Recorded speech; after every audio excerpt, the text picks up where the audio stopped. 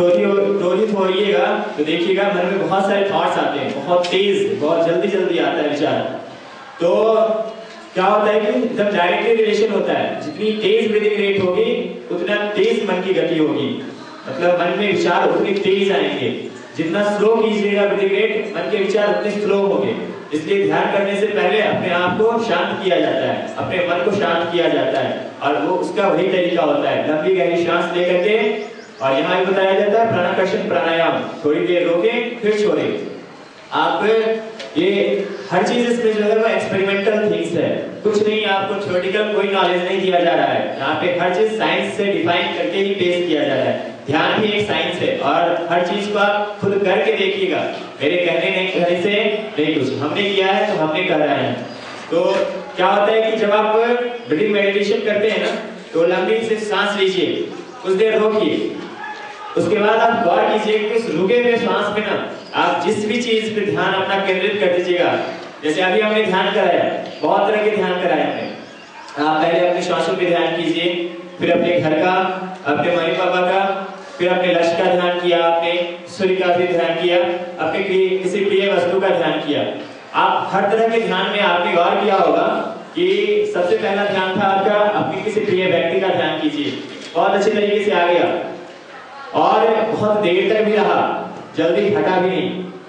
जैसे ही आपने आगे बढ़ा, उसके बाद आप जब गुरुदेव माता जी का ध्यान किए, सूर्य का ध्यान किए, फिर लक्ष्य का भी ध्यान किया तो लक्ष्य का भी जब ध्यान किया आपने तो आया।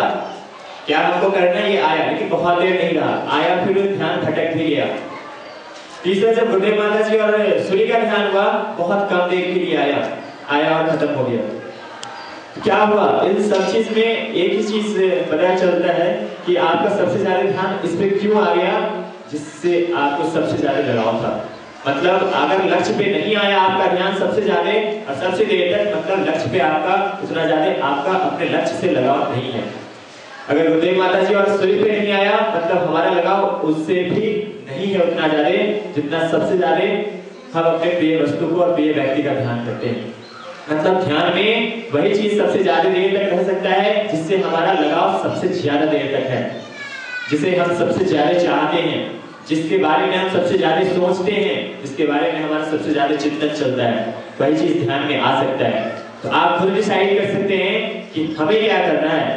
हम कहते हैं कि हमें लक्ष्य पूरा करना है, लेकिन हम अपने उस लक्ष्य के प्रति उतने सीरियस नहीं होते हैं। हम जब ध्यान करते हैं, अपने लक्ष्य को लेकर के बैठते उतनी देर तक उसको रख सकें अपने मन के विचारों में। नहीं रह पाता। है तो यही चीज़ होता है कि मन की गति जैसे ही स्लो होती है तो फिर और उस रुके हुए श्वास में, जिस वक्त आप पूरी तरह से रोक लेते हैं श्वास को, उस वक्त कितना भी कोई भी क्लिष्ट ध्यान हो पिन पॉइंट भी अगर रहता है तो आपका ध्यान जो है सो केंद्रित हो जाएगा उस पर यही होता है। उससे